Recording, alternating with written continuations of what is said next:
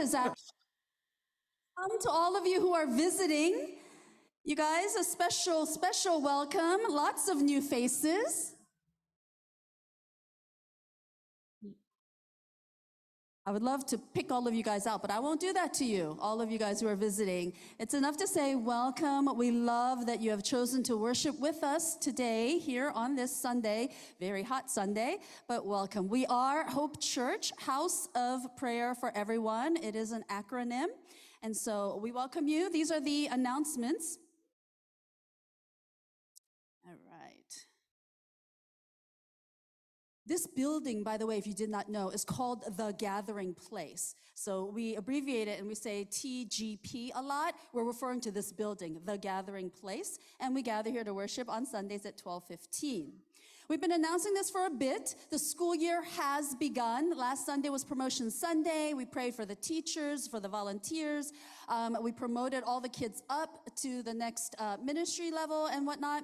Um, this, I think there was some confusion. Parents, you must register your children for our Sunday school.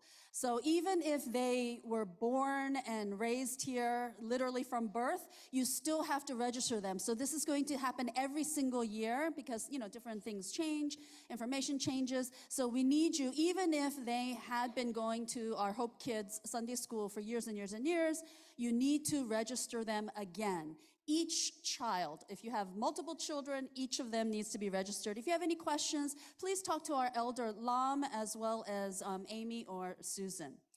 We have our Living Life Bible Study, LLBS. We love acronyms here. So LLBS stands for Living Life Bible Study. We've already done it twice, and this is our third time. We offer it in the spring and the fall. So the fall course is happening on 9 11. It happens next Monday, so that's 9 11, September 11. It's a 13 week course. Please, please sign up, okay? You can sign up using the Church Center app, which is the same app that you use to register your kids and also for your offering.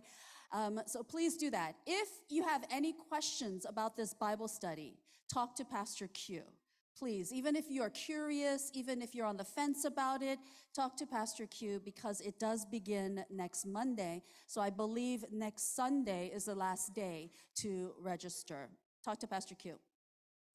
Our, it's a new month, and each month we highlight a different missions partner. And for the month of September, our missions partner is TC. She is serving and ministering in the 1040 window area. If you don't know what the 1040 window area is, look it up. Google it. Something that we should have in our vocabulary.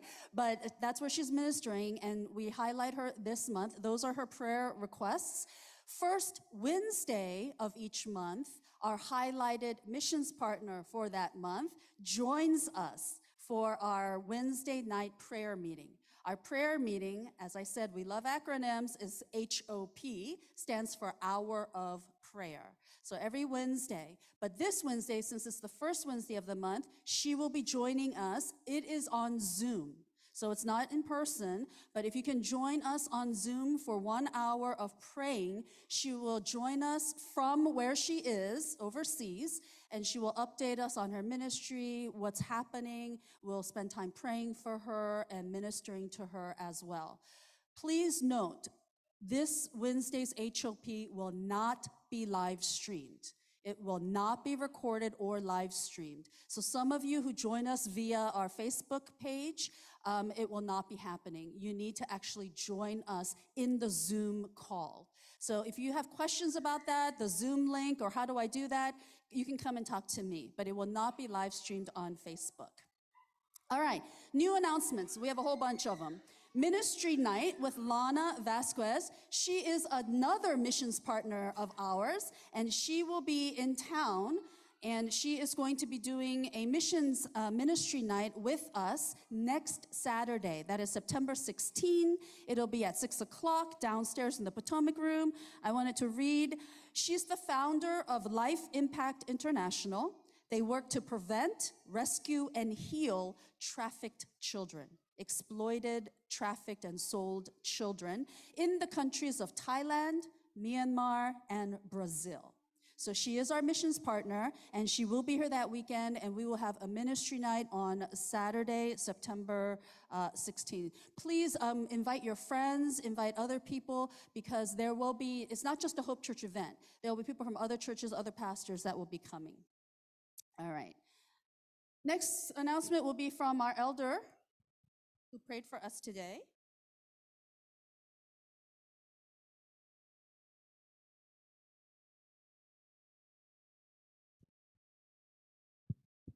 I don't like sharing. Oh, okay. Hello. We're having a picnic in the parking lot this time. It's cheaper. So I get to spend more money on games and food, which is a plus, I think. It'll be on the 17th at roughly 2 p.m. Um, bring your VIPs. We will have prizes. House church versus house church, cornhole, badminton, and pickleball. So you have two weeks to practice if you don't know how to play any of those games. Um, if you are in a house church, you are automatically entered in this tournament. If you are not in a house church, congratulations, you have two weeks to get into a house church. You can talk to Pastor Mimi. Um, there will be men's and women's divisions. Each division will win a $50 gift card. So do your best. Two person teams, yes. Two person. I'm not clear on the rule of cornhole. But the other two games are two person teams, and I'll figure out the rules for cornhole later. Um, but yeah, two person teams. $50 gift card, men's and women's divisions for house churches. Also, your prize for eating together peacefully is that you will not be hungry. There will be a lot of food, so be sure to bring your appetites and your VIPs. Okay, thank you. That's it. All right, so as you know, every year we have our annual outdoor worship service and picnic at some pavilion or park. But this year we're just gonna have worship indoors. The worship part's indoors here, and then we're gonna go out immediately after the service, and our fellowship time will be outside, and it'll be a church picnic out there. The, oh, the entire, I think, parking lot is gonna be closed off. There's gonna be cones on that day to block off, so when you come on Sunday, please um, follow the directions and don't park where you normally do because we're going to need the parking lot area to set up the tent, the games, uh, the food, the barbecue, and everything. And we are emphasizing please bring your VIPs. Please bring all your uh, non Christian neighbors and friends and relatives uh, outside of Hope Church that would love to come and join us for that. All right. Continuing with new announcements. There is a camping trip that has been planned for Hope Church. This is open to everyone. Everyone is allowed to come. It's Sunday through Tuesday. So after church on Sunday, October 8th, uh, head over to Greenbrier State Park. A few years ago, we went camping there. So those of you who went a few years ago, you'll recognize it's the same dogwood loop. You need to pre-reserve your camping site. So Cindy, if you could raise your hand. Cindy is sitting right there, right in the smack in the middle please see Cindy as soon as possible about getting your, reserving your camping site because we want to, of course, be in the loop and all together. Um, join us for, it says, uh, Sunday through Tuesday. Join us to pitch a tent, eat yummy food together, share stories around the campfire, enjoy the rugged outdoors, and sleep under the stars. As I said, it's open to everyone. Please see Cindy. Next, save the date. This is kind of far in advance, but we're giving you a massive heads up. Save the date for our coffee house. It's going to be on Saturday, November 11th, and we need volunteers. We need you to help uh, with ideas. We need you to help plan for it, as well as needing volunteers on the day of so that we can do this uh, coffee house. It's a perfect opportunity, once again, to invite VIPs to invite your friends and relatives from outside of Hope Church. It's going to be a wonderful, it starts at 2 o'clock, a wonderful event for just an open house. It's an open coffee house. So please save the date for that. All right, last announcement. It is a new month, and in September, we do want to thank our house church, Izmir. Izmir House Church is led by our shepherds, Janice and Keith Lee, and they are providing our Sunday fellowship food for the month of September. So we thank you to all members of the Izmir House Church. All right, at this time is uh, worship of giving. So if you can use the Church Center app as well as we have an offering plate up here, let's worship through giving.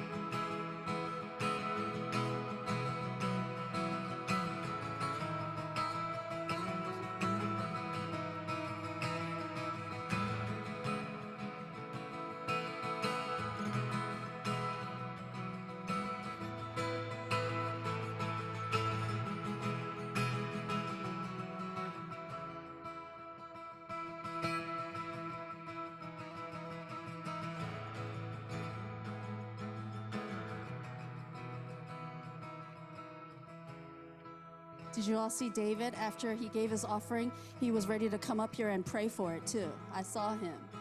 All right, thank you. Let's pray. God, we thank you that you are a faithful Father and you are the good, good Father. Father, you are our Jehovah Jireh and a God of abundance and for our provider, Lord. We thank you that you are so good to us, that we come to you not with empty hands, but Father, we come to give unto you for the building of your kingdom here on earth.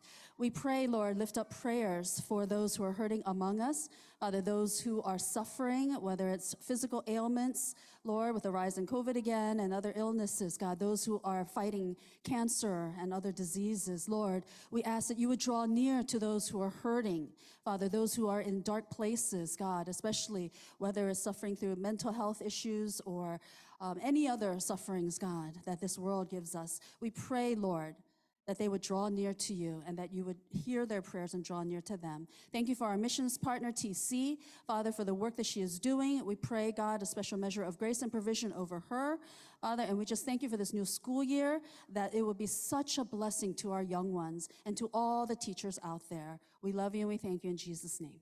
Amen. Oh, um, release the children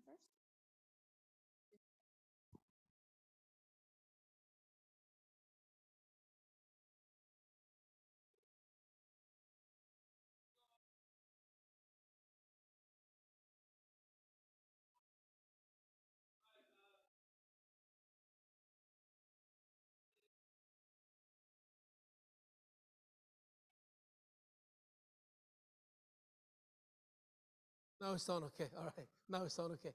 This Wednesday, I got to uh, go to UMBC because there is a first day of school at uh, UMBC, the college. Uh, uh, just reminded me, it was 1989, 34 years ago. God sent me to Maryland, specifically the rich college students, 34 years ago. And 34 years ago, I started a campus ministry at UMBC 34 years ago. So it was really monumental in the sense. But in light of that, uh, this year we had one high school graduate going into university, which was Emma.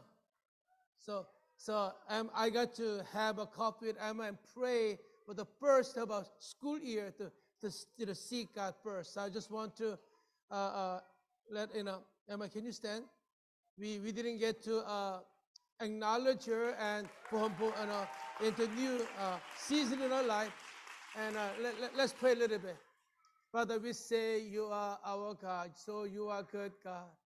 You are the God who leads us every single step of the way. You are God in our life, in our transitions. Father, we just come and thank you for your grace.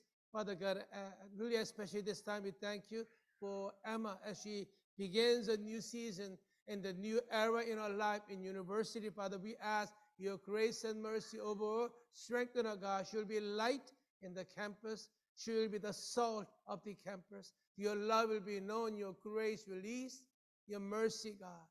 And that whole campus, many will come to know and honor you, find hope that is in you. So we give you glory. We lift her up before you, God. In the name of our Lord Jesus Christ, we pray. Amen. The Hope kids, you're released right now. You can go. You are Luo. You're released. God is good. God is good. Let me remind us again God is good. That little we, God is good all the time. I want you to hear what I want you to hear what you're saying. That God is good and He is good all the time. And this is the battle that we face every single day. That everything around us will declare and, and, and any, many things will say, Is God really good? Yes, we declare through our life in all that we do that God is good. He is good all the time. Amen. Let's come.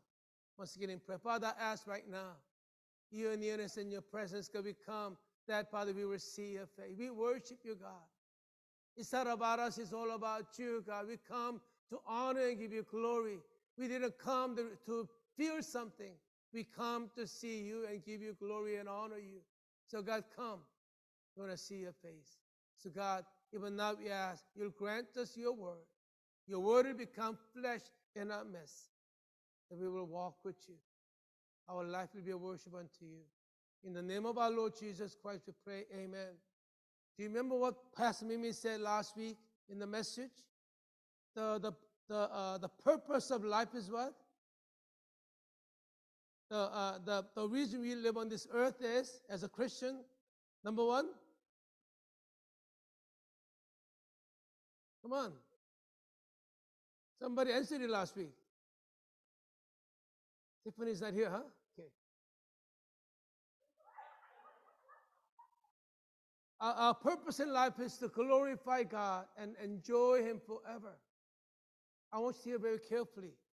This is direct contradiction to what our country says.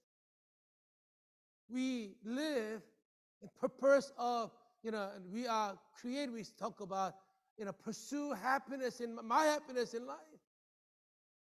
So I want you to know, see something very important. You know, you know, I'm sort of, this is not in my note, but I just need to say this thing. This is important. That is, a- a- and on the way here, as I, as I praying, as I come into church, I just, it just dawned on me the message of the gospel the early church had was so different from ours these days. When they believed, when they, when the pro, God's gospel proclaimed that in those days, the proclamation was, king has come. If the king comes, we trust in him, we submit to him. Our lives change because we live under the rule of the king. Messiah has come. Now, uh, nowadays, our the gospel message we seem to hear is God came to love you and give you all that you need. We don't preach about God as a king and Lord that He is. We talk about, you know, I'm, I'm, I'm- feel I'm, I'm not rebuking anyone here, okay? Our worship became about us. We sing songs and we may feel good, we may feel God. Worship is about Him, giving Him the glory, not about me feeling something. The second, is the byproduct. We come to worship God because He is worthy. He is our God. He is mighty God. Yes, He loves us. Yes, He delights in us. But we come to worship Him saying, we seek God first. He is our God and our King. Amen. This is important because this is a basic. I don't know where I'm going with this. This is not in my message at all, okay? The title of today's message is Missed or Missing the Heart of God. Let me begin with a story. So I asked my wife in preparation for the message. So I am not good at giving gifts at all. Uh, that's that's my worst and uh, of you know one of the worst of you know those uh, the love languages ever. Then I said, "Yeah, I have many many failed attempts of giving gifts. So I asked her, what would be num- my, my number one failure in giving gifts? She mentioned about microwave, mentioned about you know the VCR. Some of you know the inside story here. And microwave was my first gift I gave to my wife on her birthday. And and uh, VCR was my first gift I gave her on Mother's Day.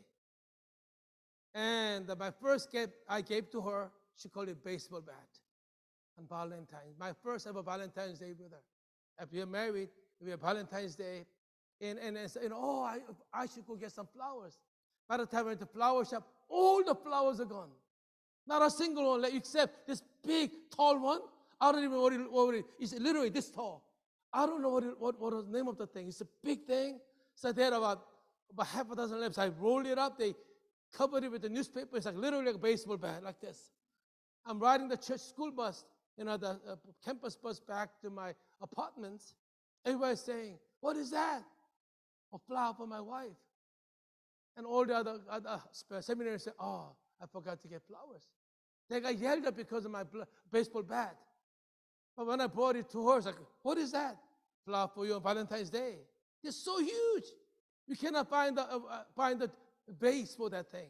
She used a trash can to put that in there because you know and so she, that was the worst one of the worst gift and people thought i was doing something special other other husbands got yelled at their wives but but me it was a last minute unprepared and the point of the thing is i failed of the gift giving because i missed the horrible things Torah is not about giving flower it's about showing her that she is my love she is my valentine she is the love of my life not just duty to give her flower, some leftover flower that nobody wants.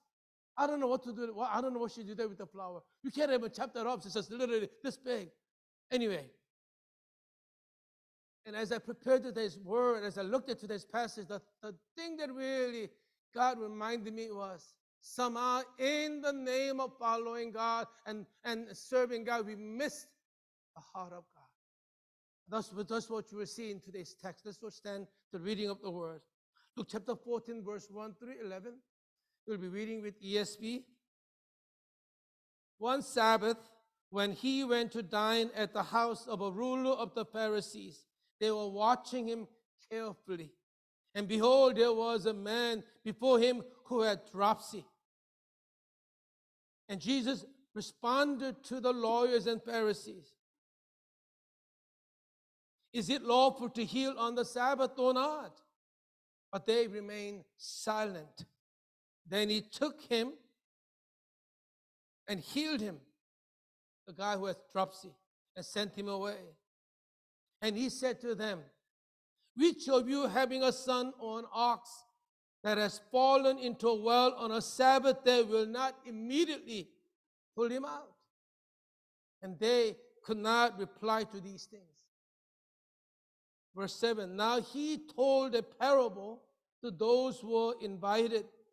When, the, when he noticed how they were choose, they chose the places of honor, saying to them, When you are invited by someone to a wedding feast, do not sit down in a place of honor, lest someone more distinguished than you be invited by him. And he who invited you both will come and say to you, Give your place to this person. And then you will begin with shame to take the lowest place. But when you are invited, go and sit in the lowest place. So that when your host comes, he may say to you, Friend, move up, move up higher. Then you will be honored in the presence of all who sit at table with you. For everyone who exalts himself will be humbled, and he who humbles himself will be exalted. If This is the reading of the Word of God. You may be seated.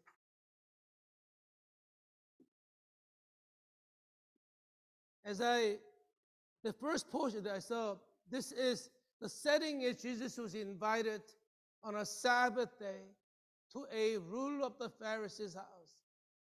And there, so next 24 verse, verse 1 to 24 gives four different things what happened in that dinner at the table. I really I was really thinking about maybe I want to uh, really title the message at the dinner with Jesus. But you know, but I said, no, that's at the dinner, which says, okay. That's but you know, I, I changed the topic, any uh, sermon title, any, anyhow. So there are four things. Yes, I'm gonna focus on two this this this afternoon. As I think about it, something really bothered me. One of the things we saw in the Gospel of Luke was that every single turn now, the Pharisees and rulers were looking to catch Jesus. They're trying to catch him and trying to, you know, really uh, put him away. So why does he keep accepting the invitation to go to their homes? This is not even at the at the you know the synagogue. He went to somebody's home. Somebody invited him. You see in this verse, they are watching him closely. Amplified version said, watching him carefully, watched, watching him closely and carefully, hoping to entrap him. This was a trap. But yet, Jesus still accepts the invitation. Why? So you, if you know some of your enemies inviting you time after time to trap you, why would you go? I wouldn't go, would you?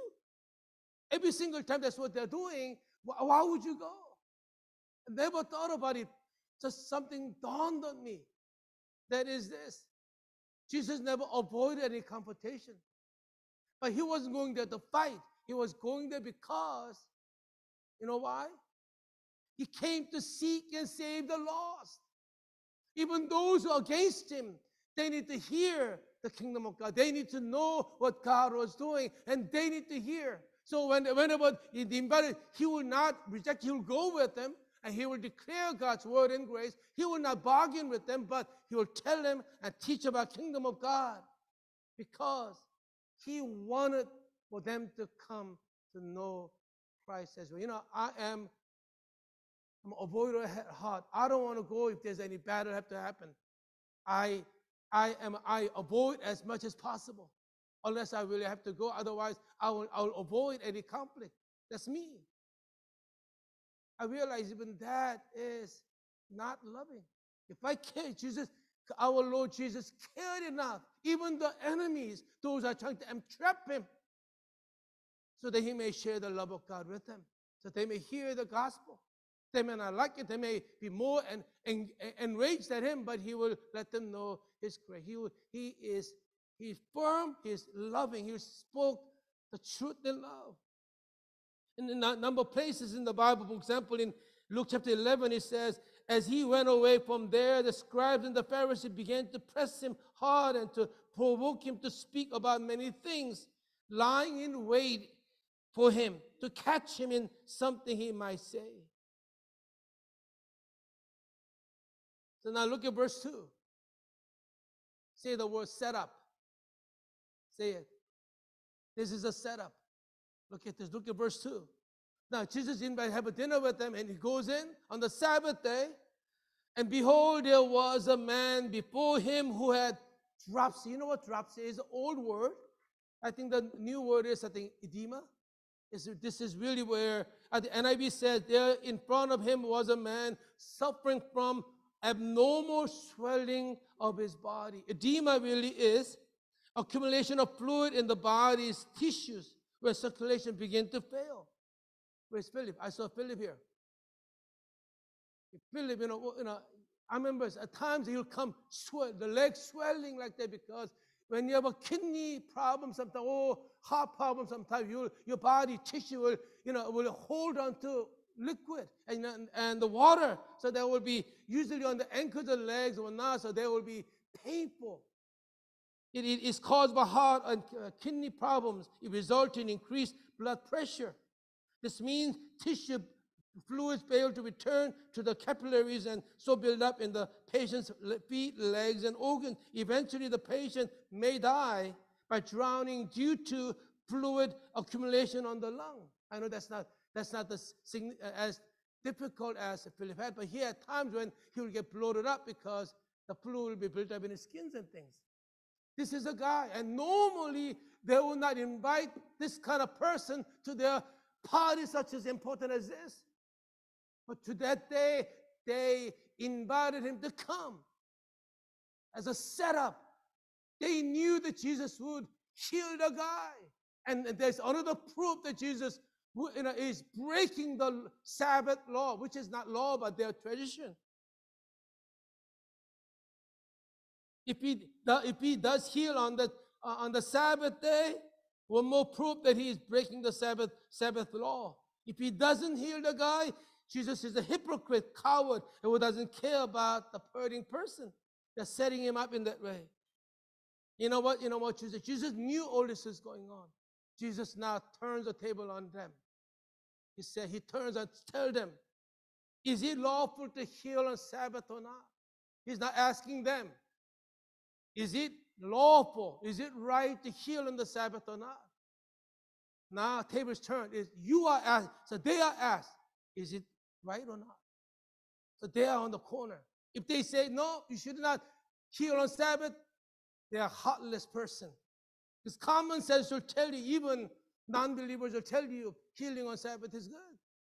If you say, oh, you, you, you can, that they will be seen as, you know, weak on law, weak on the, on the keeping the Sabbath law and everything.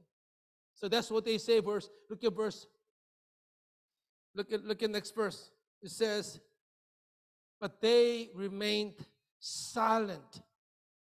They remained silent. They couldn't answer. Either way, if they were table turns or they, they were trapped in, in some ways. Jesus knew what is. Jesus knew their heart where they were. They remained silent. They could not say yes. And, they, and if, they, if they say yes, you could heal. It would appear soft and hypocritical regarding the stringent measures of the Sabbath observance. If they say no, or be accused of being inhuman, inhumane, and uncaring for the hurting. Look at verse 4. They are, uh, they are but kept silent now. And Jesus turns and took the man, touched the man, and healed the man. And he says, sent him away. Sent him away. And so here's the thing that, you know, um, Jesus, you know, Jesus healed the man, touches the man, and, you know, and, and sent him away. Actually, the word here, sent him away, this is why you need to learn Greek. The word sent him away is the same word that was used in chapter 13 when the woman who had, you remember, bent double? When Jesus released the woman, same word which is released is here. That's the word is here. Or in Greek is luo. Some of us know what they mean, luo, luo is rete. So, you know, we are smiling because we spent so much time memorizing them. Anyway, so, um, so, but they translate it as uh, he sent him away. Jesus touched and healed and released him from his bondage as well as you don't have to be here. They brought you here so that to are trapped for me so you, you can go. And he released him. And then he turned around and talks to the people, those who set up the thing, those have nothing to say. He speaks to them and he rebukes them. And he says, verse 5, and he said to them, Which of you, having a son or ox, fall into a well on Sabbath day, will not go and take them out? Of course you would. Of course you would. Nobody will not do it. Everybody will do that. Everybody will take the son out of the well, even if he's found on the Sabbath or his ox. His point is, how much more if you are willing to pull out a ox or a son in a, on a on a on a danger on Sunday, Sabbath day, you release him. How much more should you? Should we heal on do the right thing on the Sa- Sabbath? Of course you would. Is this man not worthy of your? Is, the, is this man not worthy as much as your son and an ox? They could not. See, look what it says. They could not. They could not reply to what he said. They could not have no response. They were stumped. They couldn't say anything to Jesus. They knew Jesus was right. Inside, they they, decided, they you know they, you know they were not accepted, but you know they, they they kept they couldn't respond at all. Listen, this is important. I know we make big deal out of Pharisees, but I wanted to know Pharisees are good people. They were not a bad people. Their heart was that they want to bring about revival in the nation. There were people were turning away from God. People were becoming more secular and all kind of things. They wanted the nation to be the they love God and follow God's ways. They believe that because you know they the people of God are not living by God's word, that's why they were in this bondage of Roman Empire. So they, they wanted the restoration of God's rule in their nation, but in their pursuit of following God's law, they missed the heart of God. They missed the heart of God. The most important thing, they missed the heart of God. Just as like me with the baseball bat. miss the heart of God. That's the thing. Often when you're confused, when you are, when you when you have a wrong idea, you are so set in it, you became blind to what God is doing. And you know, and in, in Matthew, in Matthew's account, and it tells a story about, you know, it says in Matthew 9, and when the Pharisees saw, you know, this, and Jesus being with the, uh, uh, uh, the sinners, and they said to his disciple, Why does your teacher eat with tax collectors and sinners? But when he heard it, Jesus said, Those who are well have no need of physician, but those who are sick. Remember, remember the Pharisees upset Jesus spend time with the quote unquote sinners? Verse 13, I have the passage for that. And go and learn what this means. I said, God says, I desire mercy, not sacrifice. God said, I desire mercy, not sacrifice. More than the rules, following the rules, I desire mercy. You miss the heart of God in your effort to follow God, in your own effort to follow God. You miss the heart of God. For I came not to call the righteous, but the sinners. And you find all the way to Jesus going to the cross. There were the religious leaders of badgering Jesus on this issue. You're breaking the Sabbath law. You're breaking the Sabbath law. Just saying, no, I'm not breaking the law at all. You, I'm, I, I, don't, I, I, I, I am disagreeing with your traditions by saying you are missed the heart of God. Heart of God is a, you know, there's a quote that I found. I love this thing by one of my favorite uh, Bible teachers. He's getting old now. Uh, Chuck Swindoll. It says, brush aside the jots and tittles of man-made traditions, cut through the fle- uh, fleshy sinews of rules and regulations. You know, this is not my language. And and penetrate the center of Old Testament law, what you get? You find the heart of God.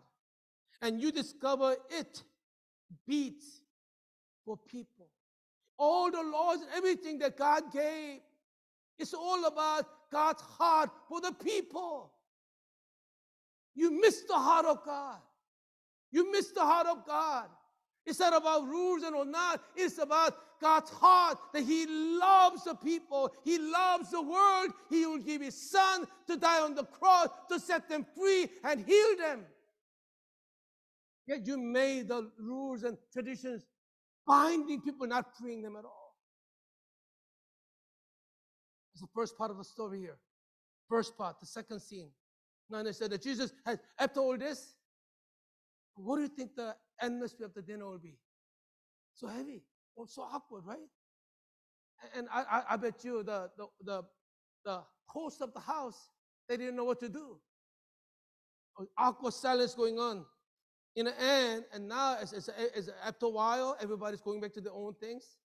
You know, and people all watching what Jesus said, what he was doing, and now everybody going back to the things.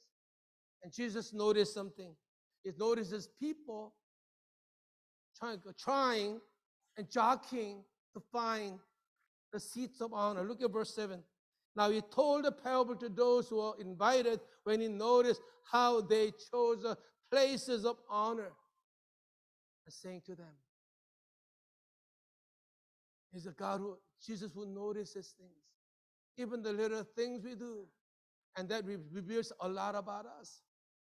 You know what? Parable is a little story that teaches big ideas, especially of the kingdom of God. Just told a little parable. The parable, some people call it a, a wedding feast parable. As Jesus says, you know, Jesus explains the things, and I want you to hear what he says. Verse 8 When you are invited by someone to a wedding, wedding feast. Now, you know, this, you know, this passage is good for me. This is a year wedding for me. My two daughters are getting married. One got married in July, next one getting married in about a month and a month or so. So it's a wedding feast, okay? But their wedding feast is a little different from ours. Okay? Now we now we are wedding now, you know, the bride, mostly bride, and it takes a lot of time making sure that every, you know who is sitting where, right? The, the name card on the tables also you know where to sit, and they are racking their brain to make sure that you have right people, right place. And you know what? You put right, you know, people important closer to the you know, bride and groom's table, table, right? Those who are less important way at the end. You know what I'm talking about. But here, but they, they, those they didn't have those name nameplates. So when you're invited by someone to wedding feast, and everybody is on their own, you find your own seat. You sort of knew where you should go, but you know, but everybody wanted to. So do not sit down in a place of honor because someone more distinguished than you maybe maybe haven't been invited. Verse 9, he who invited you both will come, he invited you both will come and say, Hey, you, you're in a wrong seat. Can you give the seat to this person? And this guy, you know, this you, you you're sitting in the you know the best part, you know, and then the the, the people come and say, wrong seat. Can you give the seat? And now you have to get up. And the person who is uh, seated in the honor, now you get up, everybody looking at you. Oh my goodness, you try to find the seat which is right at the end. That's what Jesus is saying. Look at verse 10. Instead, when you are invited, go and sit in the lowest place, so that when your host comes by, he may say to you, Hey, friend, move up higher. You're in the wrong place. Why are you here? You need to go all the way up there. Then you will be honored in the presence of all. Everybody says, Oh, look at him. He must be important. And, and so, and who, and who sit at the table? Look at me. Haven't we done this? Haven't we all, haven't we all done this sometime? Right? Come on. Don't say, don't, don't lie. You know, when you go to a party or dinner or at a restaurant, a lot of people invited. There's a long table. You know, you're looking at where's the best spot to go. Right? You come on? you, you know what I'm, you know what I'm thinking about. You don't want to be way at there. I cannot hear anything. You want to be where the, the, the, the, main person, the guest of honor will be, right? You want to go somewhere in the middle where you can hear, you can be right in front, whatever. You know what I'm talking about. Come on, don't lie, man.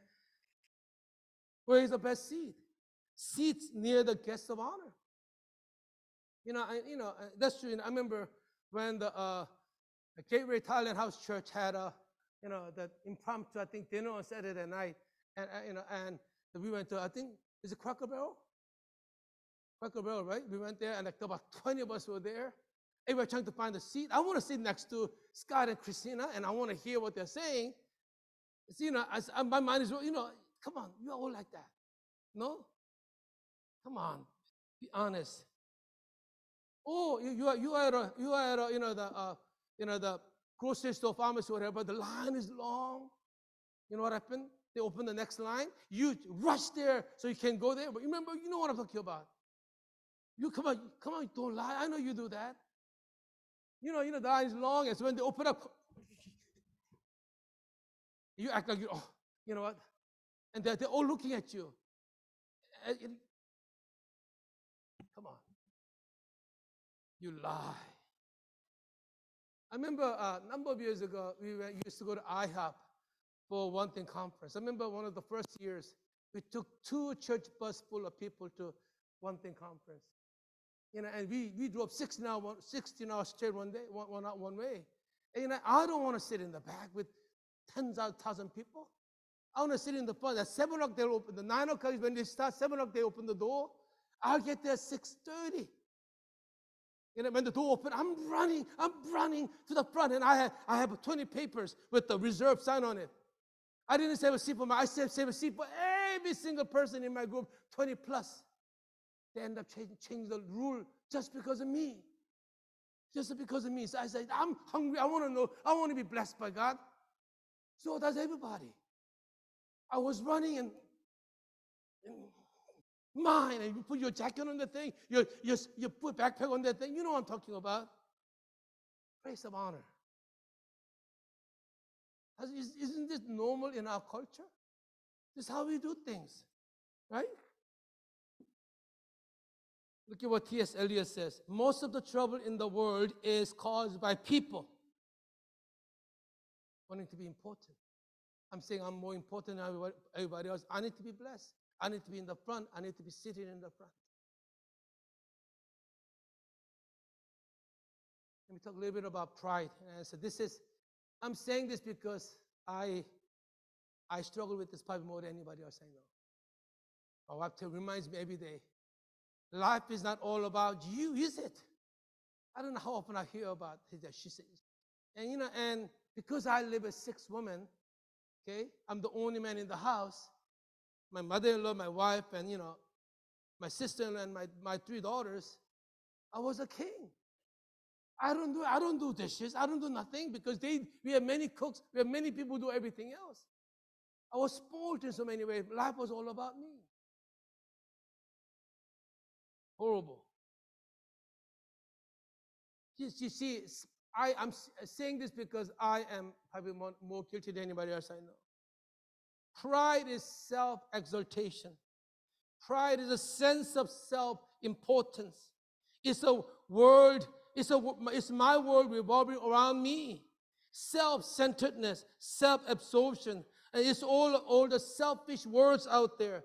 Pride. Pride makes us blind to our failures, to our weaknesses, to our need. It makes us think we are okay. You know, our oh, culture says, and often hear people saying, I've got poor self image. I've got low self esteem, as if this was the main issue in this life. The Bible says otherwise. The problem is just the reverse, Bible says. It's that we think so much of ourselves that we get easily wounded when others don't think highly of us. According to scripture, the problem is this root issue of wanting to be in control, this drive to have the world revolving around me, this drive to have things work in a way that I want have them work. This is, and the thing is, you say, I'm not like that. You know, you know, you know, maybe we should do a pride test. Actually, I found many pride tests. You know, I, I don't know if you should do it or not, but one of, one of my favorite authors, uh, uh, Nancy DeMoss. One of my, I have a number of authors I love to read and listen to. Nancy DeMoss, one of those female authors I love to listen to. She wrote 40, what do you call, 40 proofs, evidences of pride. Let me throw up a few here to see whether you see yourself in it. Okay? There are many different ones out there. Number one, do you look down on those who are less educated, less affluent, less refined, or less successful than yourself? Let me jump down. Are you quick to find fault with others and verbalize those faults to others? Do you give undue time or attention to your physical appearance? This may be Pastor Mimi. Are you proud of the schedule you keep? How disciplined you are? How much you are able to accomplish? Some people are, you know, I, I love the schedule I have, all my all my calendar, everything worked out. Some of us are like that. Are you argumentative? You generally think that you are, your ways is the right way, the only way, or the best way? Do you have a touchy, sensitive spirit, easily offended?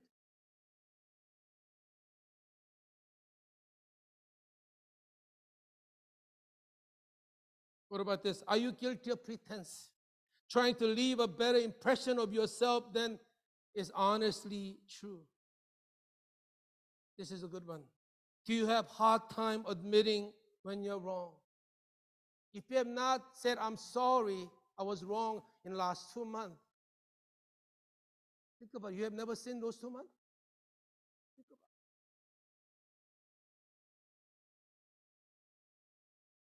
it. Do you have hard time expressing your real spiritual needs and struggles with others? Because you have to look good. We're talking about house church, isn't it? Are you excessive shy? You say shy? That's proud? Yes. Excessive shyness. Why is, why is it? Self centeredness. What do other people think about me? Matters. It's about me. When you're excessively shy, you are thinking about yourself. That can be an evidence, a subtle form of pride.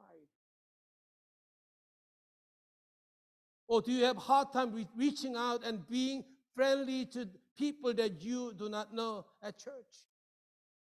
Or do you stick to your own little group there? How to reach out to new people?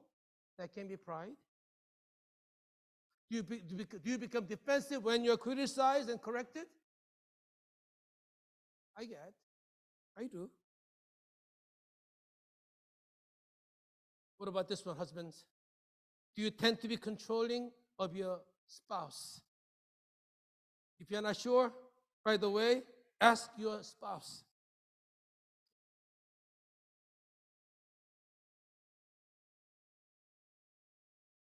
What about this one? Does your spouse feel intimidated by your spirituality? That's a good one, isn't it? Or this one. Does your husband feel like he can never measure up to your expectations? My wife never does that to me.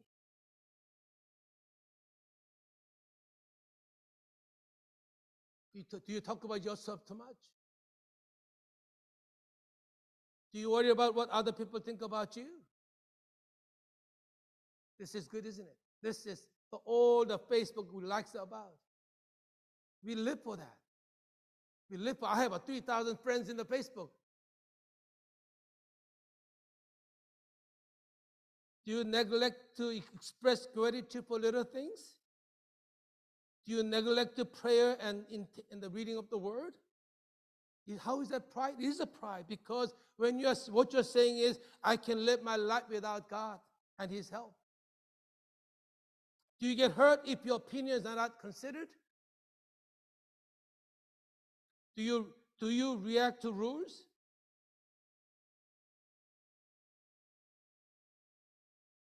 This is a good one. Do you avoid participating in certain events for fear of being embarrassed or looking foolish? I knew somebody who never tried anything that she has never done because she would look bad. I remember that person, I, I don't I tell you who, you know, you know, playing the Korean, you know, the, the five stone game, you know, that thing. She never played, so she her friends are playing, so she didn't go. She stayed and practiced enough. She's pretty decent, so she'll go and, and be with her friends, play that thing.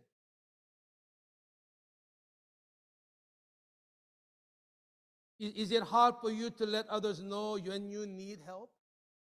That's a form of pride.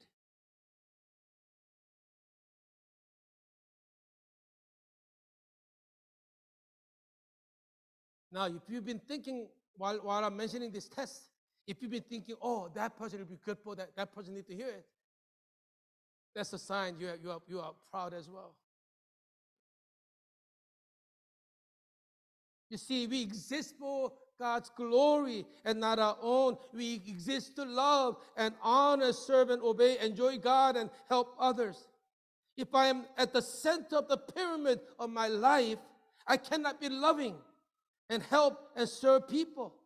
I don't, and I don't believe I have any, and then we end up saying, I don't believe I have any need of God. I become my own God, and I expect people to worship me. I don't expect to worship God by loving and serving people. You see, Jesus saw these leaders, religious leaders, who are supposed to know the heart of God and how they are behaving at the dinner. Jesus saying, Look what you're doing. Look at verse 4, 11, chapter 14, verse 11. For everyone who exalts himself will be humbled, and he who humble himself will be exalted. Jesus, Jesus, this is biblical principle. There's a place in the Bible where God dwells in the high place, but also among those who are humble, who are crushed in their spirit. The humble God will dwell with. Let me move on a little bit. Let, me, let me say this. I think this is good. I, this is from one of the sermons I listened to.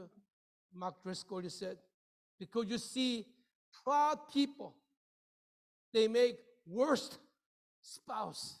They make worst parent. They make worst friend. They make worst church member. Humble people, they, by grace of God, they can be a pretty good spouse, pretty good parent, pretty good friend, pretty good church member. He said, he said, Jesus said, Everyone who exalts himself will be humbled. And he who humbles himself will be exalted. Therefore, uh, in second, uh, First Peter chapter five, verse five, it says, "Clothe yourselves, all of you, with humility toward one another, for God opposes the proud." Listen, God opposes the proud, and He gives grace to the humble.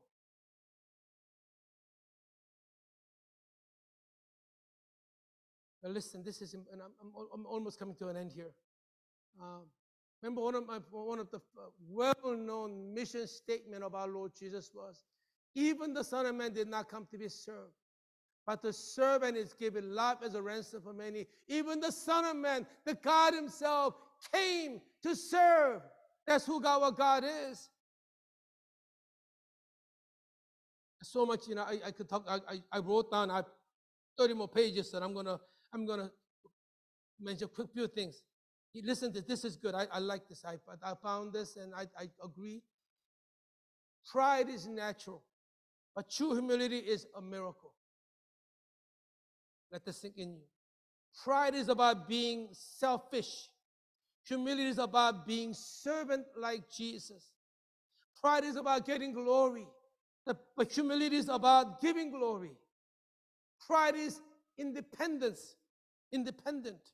Humility is about dependence. Pride is achieved. Humility is nothing you achieve. Pride is natural. True humility is supernatural. It's a miracle. Love that phrase. I'll ask Andrew a couple couple slides here. The answer to pride is not humility. Listen carefully. Answer to pride is not humility. Because humility is a byproduct of getting to know Jesus, the exalted one. Oh, I'm, I'm proud. I, I need to be humble. I want to be humble. I need to be humble. When you, you know what happens when you do that? You still focus on you. Like, you know, like Daniel Lee mentioned this morning. When and I said, I'm the humblest person in this world. I know he was joking. He was joking. I heard the story. There's, you know, this church, you know, in this church, they were, they were giving, you know, honor, and this, they gave this person, you know, uh, the most humble person in the church. This guy was really humble and serving, and they gave him a little badge. So next Sunday, he came wearing the badge of a humblest person in the church. That, that just denied everything who, who, who he was. When he said, I'm tired, I want to be humble. Want, uh, how can I be humble? That's not it. The way you become humble is by, if you want to grow in humility, don't focus on humility. Think about somebody else. His name is Jesus. Love, my favorite passage in the whole Bible is Philippians chapter 2. Have this attitude in yourself which was in Christ. You have this heart which was in Christ Jesus. Even he, although he exists in the form of God, he was he is God, fully God, did not consider regard equality with God a thing to be grasped, but emptied himself, taking the form of a bond servant, slave, and being made in the likeness of man. Being found in appearance as a man, he humbled himself by becoming obedient to the point of death, even death on a cross. You look to him. This is what Christ is, the way, truth, and life. You look to him, our God, and he how who he was, how he was, how he loved us, how he lived his life in every way. And you become more like him. And you will have his heart. You become more like him. Acknowledge our weakness, acknowledge our brokenness, and, and come and trust in him for who he is. Look to him. Behold his glory and behold his face. God, I want to be more like you ask. I want to be more like Jesus. I want to, let me end with the one last verse. I bet you never, I bet you never seen this verse in this way. Look at this last verse. One of the famous verse, verses about the revival is in Second, Second Chronicles, uh, uh, in verse uh, chapter seven, verse fourteen. It says, "If my people who are called by my name humble themselves and pray." When there is a need of revival in the nation, when there's brokenness in the nation, it says, if my people who are called by my humble themselves and pray. Can you praise them come? When they humble themselves and pray and seek my face, it said, and turn from the wicked ways. God said, I will hear from heaven. I'll forgive their sins and I will heal the land. There is no revival. There's no revival. There's no transformation unless we come to the first step, first place. If you miss this step, you will never experience revival. You will never experience the nearness of God in your life, in your marriage, in your home. If you miss this foundational principle.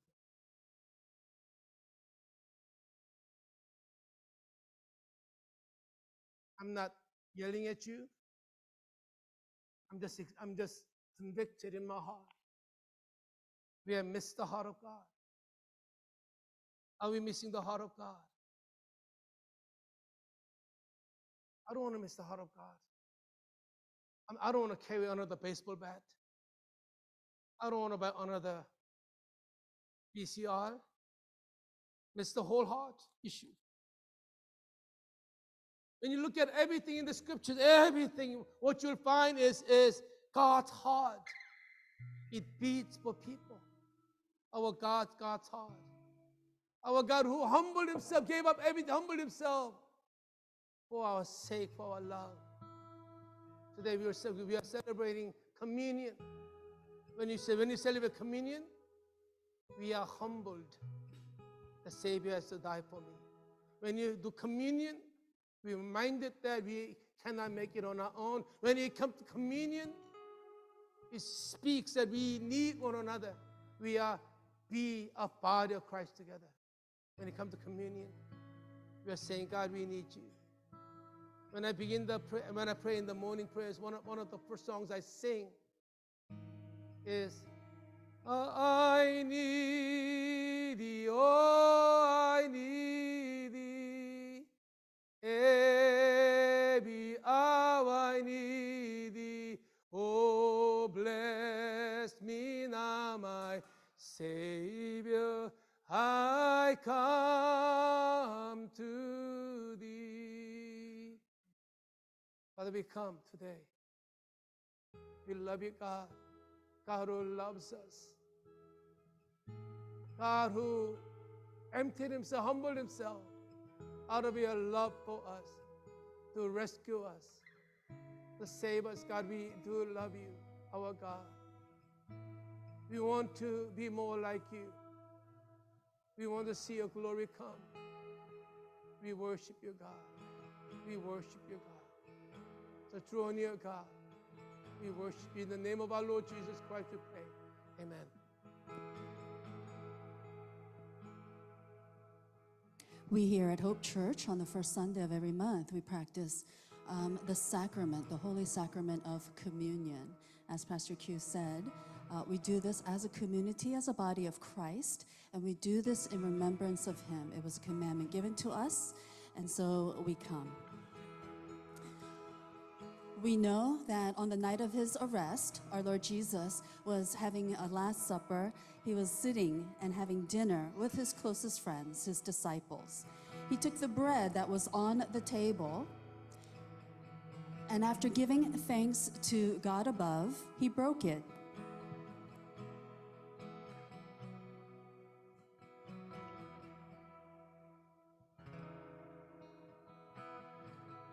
He broke it and gave it to his disciples, saying, Take, eat.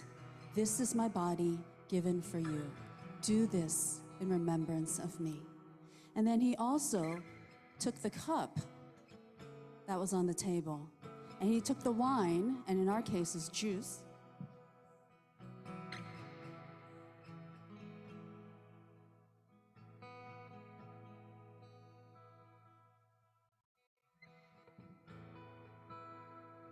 And he took the cup, and in the same way, he said, This cup is sealed, it's the new covenant, sealed in my blood, shed for you for the forgiveness of sins. Whenever you drink it, do this also, remembering me. And so it is that when we gather together as a body of Christ and we eat this bread and we drink from this cup, we are proclaiming the saving death of our risen Lord until he comes again. We are certain that our Lord once came and he will come again. And that is what we celebrate today. Let's pray. Gracious God, we pour out, would you pour out your Holy Spirit upon all of us here today and upon these gifts of bread and juice, that the bread that we break and the cup that we bless may be the communion of the body and blood of our Lord Jesus Christ. It is by your Spirit that you would make us one with Christ, that we may be one with all who share this table today, unified in ministry in every place with all fellow believers. As this bread is Christ's body for us, would you send us out to be the body of Christ into the world? Remembering your gracious acts in Jesus, we take from your creation this bread and this juice, and we joyfully celebrate his dying and rising as we await the day of his coming again. And so it is with thanksgiving we offer our very selves to you to be a living and holy sacrifice dedicated to your service. In Jesus' name we pray. Amen. So we say that this is the Lord's table, and our Savior invites all those who trust in Him and who love Him to come and share. We invite all children who have been baptized. You do not have to be a member of Hope Church, even if you're visiting. If you trust in the Lord as your Savior and love Him, you are welcome to the table. And also a note if for whatever reason you wish not to come to the table, that is fine too. There's no peer pressure or anything like that. That is fine too. But all those who trust in the Lord are invited. Let's all stand.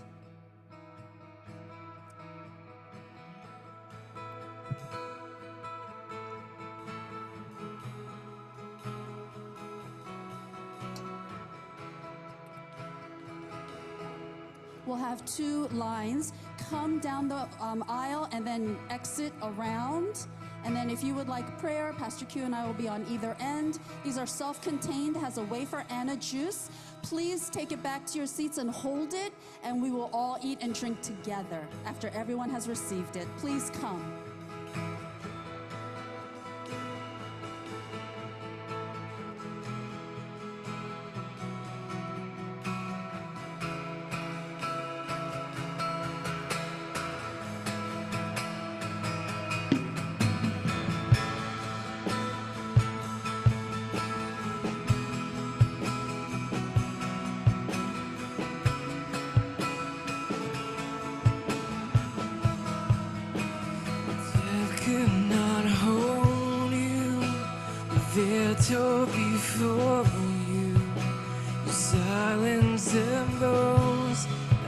Of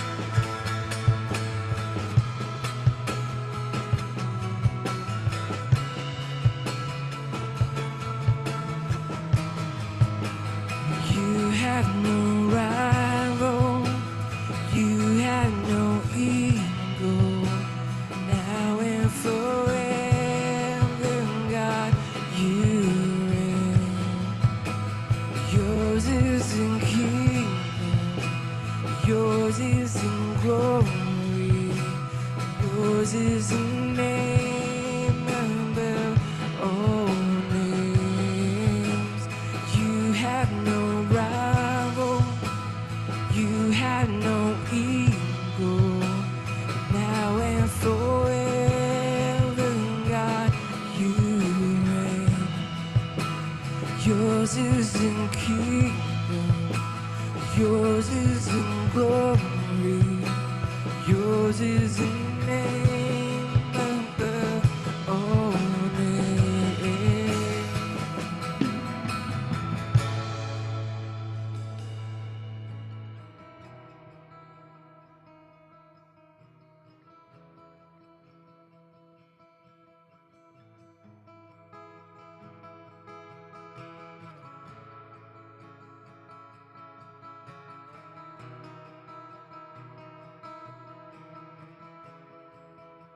Stand. Let's all stand together. We'll just sing the chorus of this, uh, this last song, and then Pastor Q will come up and give the benediction.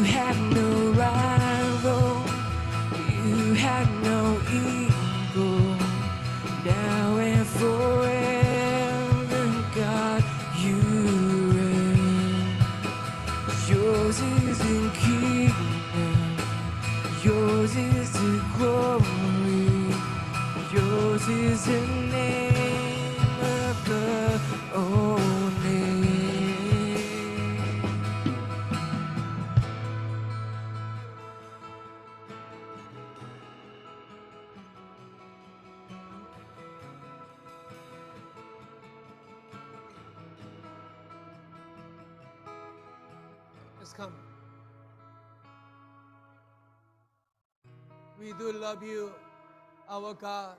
You are the humble King. You are God enthroned in heavens. Yet, God, you so loved us. He came to us, took on a form of a man, humbled yourself, emptied yourself, even died on the cross not only to forgive us, not only to heal us, but your kingdom come. You'll bring about your reign on this earth. We love you, God. Help us be more and more like you in every way. Father God, we want to have you know your heart, know your ways, God. Walk in your grace. Now the grace of our Lord Jesus Christ, and love of God the Father, and the communion and, and the fellowship of the Holy Spirit of God be upon all who call upon the name of Jesus. Be upon who come and who are here in worship. Be upon our church from now until forever and ever. Amen. Just as always, if you God, if God has spoken to you, if you need any prayers, we, we, are, we will pray with you. We welcome you to come.